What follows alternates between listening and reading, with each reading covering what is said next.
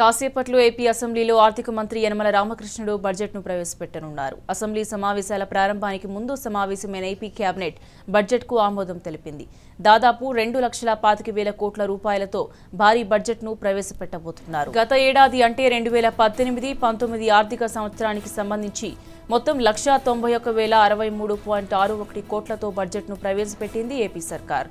అందులో రెవెన్యూ వ్యయం లక్షా యాభై వేల రెండు వందల డెబ్బై కోట్లు కాగా మూలధన వ్యయం ఇరవై ఎనిమిది వేల ఆరు వందల డెబ్బై ఒక్క కోట్లుగా నిర్ణయించారు. మొత్తానికి ఈ ఏడాది ఇరవై నాలుగు వేల రెండు వందల ఐదు కోట్ల ఆర్థిక లోటు ఉంటుందని అంచనా వేశారు. వృద్ధి రేటు పది పాయింట్ తొమ్మిది ఆరు శాతం ఉండనున్నట్లు యనమల ప్రకటించారు. కాబట్టి ఈ ఏడాది దానికి తగ్గట్టుగానే బడ్జెట్ను రూపొందించినట్టు సమాచారం. ఇక వ్యవసాయ రంగానికి గత బడ్జెట్లో పన్నెండు వేల మూడు వందల యాభై రెండు కోట్లు సాగునీటి రంగానికి పదహారు వేల తొమ్మిది వందల డెబ్బై ఎనిమిది పాయింట్ రెండు మూడు కోట్లు కేటాయించారు. అలాగే ఇరిగేషన్ విభాగం కింద పోలవరానికి తొమ్మిది వేల కోట్లు కేటాయించగా ఈ ఏడాది కూడా దానికి తగ్గట్టుగానే నిధులు కేటాయించనున్నారు. వీటితో పాటు ఈ ఏడాది గ్రామీణాభివృద్ధికి కేటాయింపులు పెరగనున్నాయి. గత ఏడాది గ్రామీణాభివృద్ధికి ఇరవై వేల ఎనిమిది వందల పదిహేను కోట్లు కేటాయించగా ఈ బడ్జెట్లో వాటిని పెంచనున్నారు. ఇక ఈ ఏడాది బడ్జెట్లో రైతులకు ప్రత్యేక ఆర్థిక సాయం అందించడంతో పాటు భూమి యాజమానులు కౌలు రైతులకు నష్టం జరగకుండా చర్యలు తీసుకుంటామని ఆర్థిక మంత్రి ఇప్పటికే ప్రకటించారు. అలాగే ఇబ్బందుల్లో ఉన్న మధ్యతరగతి ప్రజానీకానికి ఎలా న్యాయం చేయాలన్న దానిపైన ఆలోచిస్తున్నామన్నారు. కాబట్టి ఇది పూర్తిగా ప్రజాకర్షక బడ్జెట్ కానున్నట్టు సమాచారం. ఎన్నికల ఏడాది కాబట్టి గతంలో లానే ఈ సంవత్సరం కూడా వివిధ కులాలపై వరాలు కురిపించబోతున్నారు యనమల. బడ్జెట్ మొత్తాన్ని కులాల వారీగా విడగొట్టినట్టుగా ఉన్నాయి అన్న విమర్శలు గత ఏడాది వినబడ్డాయి. పేదరికంపై గెలుపు ఆదరణ దళిత సంక్షేమం లాంటి పథకాలకు భారీగా కేటాయింపులు జరగనున్నాయి. ఇక ప్రభుత్వం ప్రతిష్టాత్మకంగా ప్రకటించిన పింఛన్ల పెంపు నిరుద్యోగ భృతికి బడ్జెట్లో అదనపు నిధులు మంజూరు చేయబోతున్నారు. అలాగే మచిలీపట్నం పోర్టు అభివృద్ధి రామయ్యపట్నం పోర్ట్ నిర్మాణానికి నిధులు మంజూరుతో పాటు రాష్ట్రంలో నిర్మిస్తున్న ఎయిర్పోర్ట్ల ప్రస్తావన కూడా బడ్జెట్లో ఉండబోతోంది. మొత్తం మీద ఎన్నికల ఏడాది కావడంతో ఈ బడ్జెట్ ప్రధానంగా ప్రజాకర్షక బడ్జెట్గా ఉండనుంది. అయితే ప్రస్తుత పరిస్థితుల్లో దానికి తగ్గట్టుగా ప్రభుత్వం నిధులు ఎలా సమకూరుస్తుంది అన్నదే అందరికీ ఆసక్తి కలిగిస్తోంది.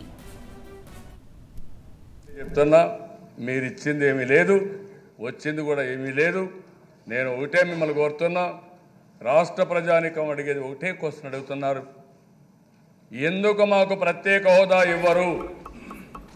ఎందుకు విభజన చట్టంలో ఉండే హామీలను అమలు చేయరు కడవన్నీ కథలన్నీ వదిలిపెట్టండి కట్టి పెట్టండి మీ బాధ్యతను నెరవేర్చండి. మీరు వచ్చి అవాకులు చెవాకులు వాగితే మాత్రం ఇక్కడ ప్రజలు సహించరు. ఆ విషయం మీరు గుర్తుపెట్టుకోవాల్సిన అవసరం ఉంది. ఇది ఎన్టీ రామారావు గారు పెట్టిన పార్టీ తెలుగుదేశం పార్టీ అధ్యక్ష ఆత్మగౌరవం కోసం పెట్టిన పార్టీ ఇది. ఏదో మీరు అవకాశవాదం కోసం తెలుగు వాళ్ళ ఆత్మగౌరవాన్ని గురించి మాట్లాడి ఆత్మాభిమానాన్ని దెబ్బతీస్తే మాత్రం ఎవరు సహించే పరిస్థితి లేదు. అందుకే మళ్ళీ మళ్ళీ చెప్తున్నా మీరు రండి మీరు చేసిన పనులు చెప్పుకోండి కానీ నన్ను విమర్శించే నైతిక హక్కు బీజేపీకి కానీ ఎన్డీఏకి కానీ లేదని చెప్పి నేను మీకు తెలియజేసుకుంటూ నా నిబద్ధత క్వశ్చన్ చేసే హక్కు కూడా మీకు లేదు. నేను అందుకే మనం చెప్పాను ఈ దేశం కోసం నేను గర్వంగా చెప్తున్నా దిశ ఇది గొప్ప దేశం.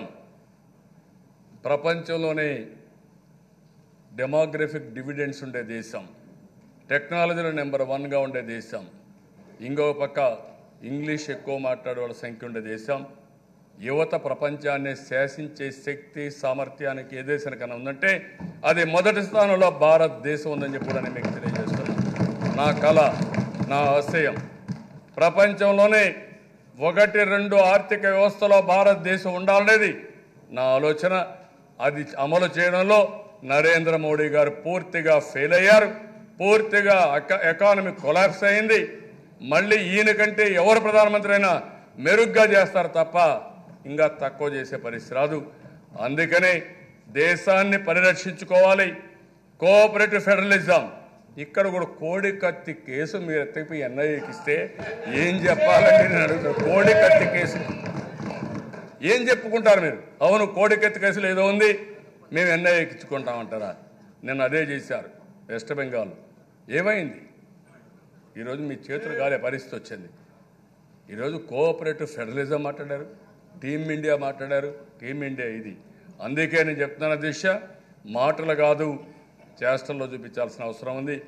అందుకే ఈ సభ ద్వారా వ్యవసాయ రంగం పైన శ్రద్ధ పెడతాం రైతును ఆదుకుంటాం భవిష్యత్తులో కూడా రైతుని అన్ని విధాలు ఆదుకొని వ్యవసాయం లాభసాటి అయ్యే వరకు రైతన్నకు తోడుగా ఈ ప్రభుత్వం ఉంటుందని మరొకసారి మీ ద్వారా రైతులందరికీ హామీ ఇస్తూ సెలవు తీసుకుంటున్నాను. జై హింద్. జై జనతా రాజు గారు